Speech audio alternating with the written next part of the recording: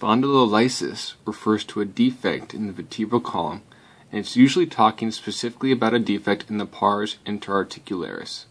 This is colloquially known as the Scotty dog fracture or Scotty dog collar because when you take an oblique x-ray, the posterior parts of the vertebral column look like Scottish terriers. Here you can see a good example of one. There's the hindquarters, the back, the ears, the nose, front legs. This is a spondylolysis, or a defect in the pars interarticularis, which is this part of the posterior column here. This condition is usually caused by repeated microtrauma to the interarticular joints, especially in those who have a genetic predisposition for this condition. That's an introduction to spondylolysis. For info on the other common spondylopathies, check our channel.